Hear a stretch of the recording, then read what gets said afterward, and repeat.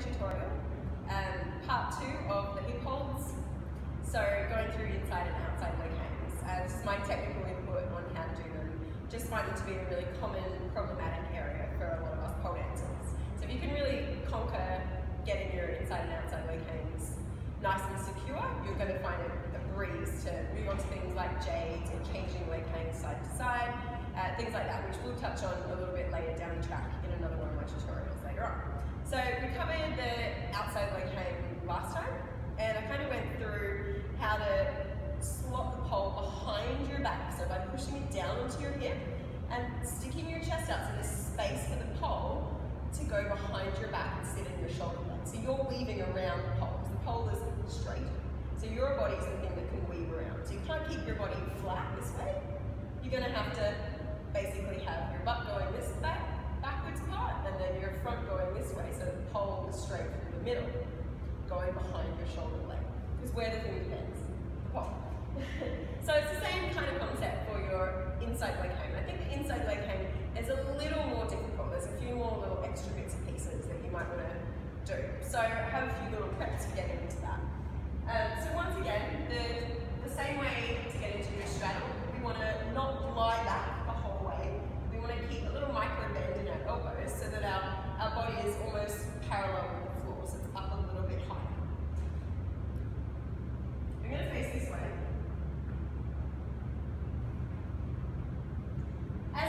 my leg across, my inside leg across, I need to get this inside hand out of the way.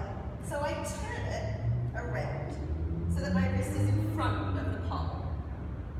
I can bend my other arm still and pull my body up higher.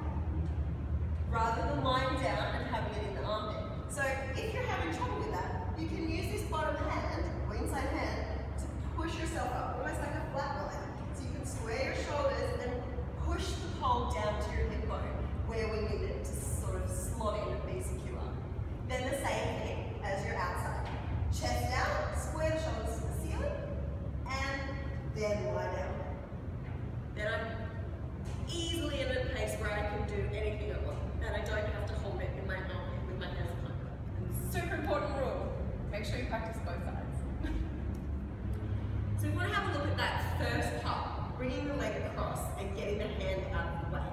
The thing is, you don't want to have your arm wrapped around the pole and then your leg coming across because then there's no space for your leg to touch the pole. You need to get that out of the way so your thigh has contact with the pole. So immediately move that hand from a wrapped around position the wrist in front so then there's space there for your inside leg to, to squeeze into the pole. So one of my trusty floor demonstrations.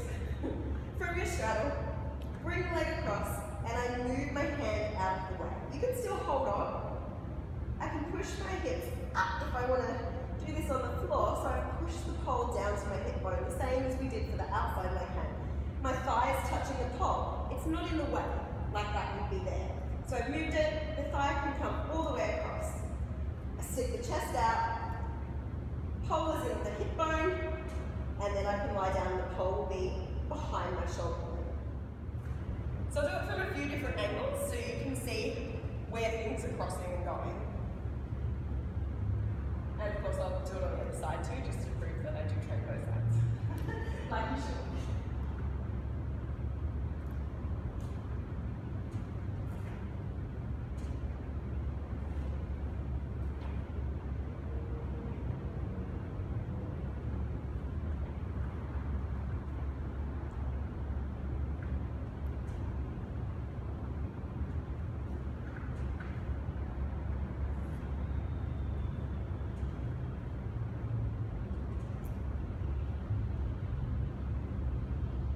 So a couple of other technical points. The same as with your first hip hold, the outside leg hang. Don't bring your back leg forward and up towards the pole, even though that might make you feel really secure if you've got your legs closer to the pole. It's actually going to give you less security You need to have that wrap around. So sticking, sticking your chest out, arching through the back, and really push your back leg down towards the floor to keep that curve through the whole of your body and whole of your spine right through your leg. By bringing it up, you're going to concave through the front of your body and bring the pole in front of your armpit, which is where we don't want to have it. We don't want it in the armpit. We want to make sure it's behind the shoulder blade. So using that hand to give you a little push up, like you're doing a flat line, is a really good beginner tool for this one. Because I find that inside leg pains a little bit harder to, to get the hang on. So you might need that little push to help you push your body back upright so that the pole can, can really lower down to your hip bone. So if I were to lie back a little bit further in my in my straddle, if I haven't quite got the strength through my biceps to keep my body upright, I can still use that bottom arm to help me get a little press up and slide the pole into the right position for the inside leg.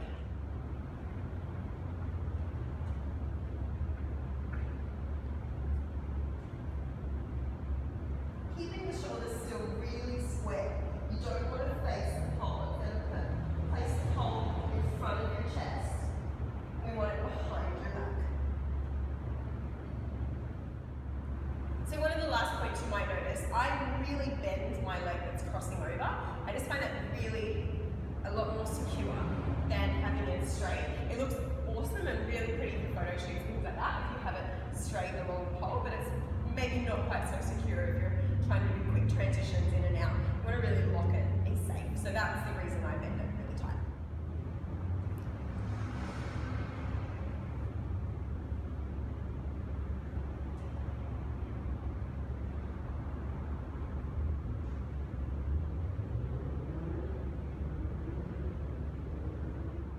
Thanks guys for watching. See you next time for the next tutorial.